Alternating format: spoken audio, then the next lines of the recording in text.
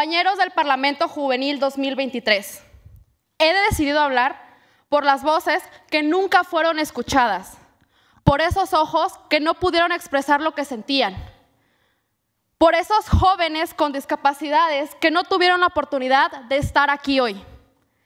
Hago un llamado honorable a nuestro Congreso del Estado, a los jóvenes que hoy están frente a mí, de seguir luchando por los derechos de esos jóvenes que no tienen la oportunidad de salir día a día y exigirlos.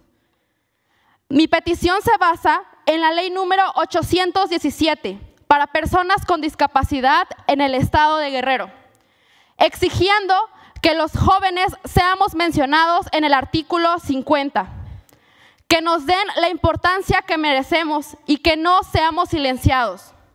En un futuro soñado, en donde las secundarias, preparatorias y universidades cuenten con un 50% de espacios para jóvenes y adolescentes con discapacidades, en donde el manejo del sistema de lenguaje de señas sea impartido de manera obligatoria, capacitando a nuestros maestros, profesores y doctores para recibir una preparación de calidad, porque somos el futuro de México, porque la juventud de hoy es el futuro de mañana. Es cuanto. Gracias.